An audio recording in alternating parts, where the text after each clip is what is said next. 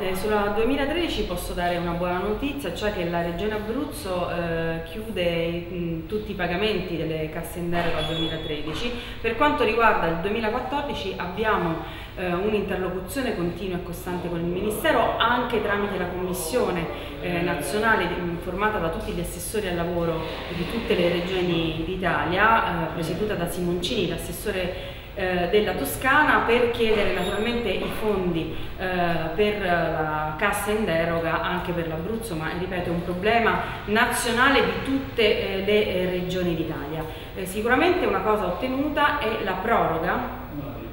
e quindi fino al 30 agosto data eh, quindi ai lavoratori e, e, naturalmente ai datori di lavoro per la richiesta di cassa in deroga. L'impegno della Regione è naturalmente quello di eh, fare dire, insieme alle altre regioni pressioni eh, sul Ministro Poretti affinché dire, possa in qualche modo essere più chiaro rispetto ai fondi.